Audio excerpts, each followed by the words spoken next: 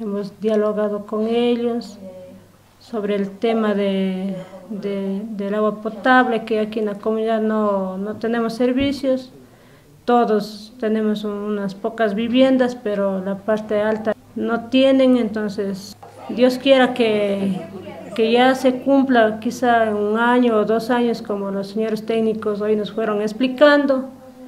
Y en mantenimiento, mantenimiento vial siempre es con lo que nos apoyan año tras año, pero con el presupuesto que tenemos la comunidad es muy, muy poco, entonces ahora hemos dejado un presupuesto de 4 mil dólares para solamente bacheo, bacheo, porque no, no alcanza con esos 4 mil dólares. Tenemos un presupuesto de 7 mil 391 con 51 centavos, que tenemos un arrastre del 2019 de 411 con 17 centavos, que nos da un, monto de, de 7.802 con 68 el cual nos deja los 4.000 para mantenimiento vial y 3.802 con 68 centavos para abono.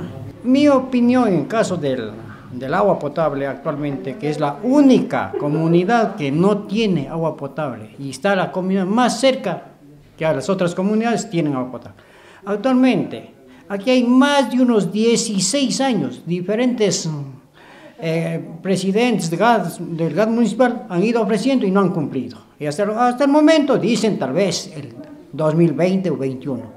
Ya casi nosotros estamos perdidos la esperanza de que cada año vengan, ofrezcan y, no cumplen.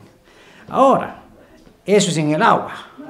En el, en el caso de las vías, no sé cómo hacen, mandan, medio, medio hacen, se acabó el presupuesto, el año pasado quedó, más de la mitad quedó sin tocar la vía. Y, no, no hicieron. Se acabó 8 mil dólares, algo así. No hay técnicos que, que ellos vengan y vean. Creo que mandan y ya está. No hay, no sé qué, qué es lo que pasa. Y después pasan los presupuestos. Dicen que esto hemos hecho, estas bellezas hemos hecho. En las revistas, en todo eso, salen maravillas que hacen, pero llega la hora de la hora azul, no nos han hecho como, como ellos dicen.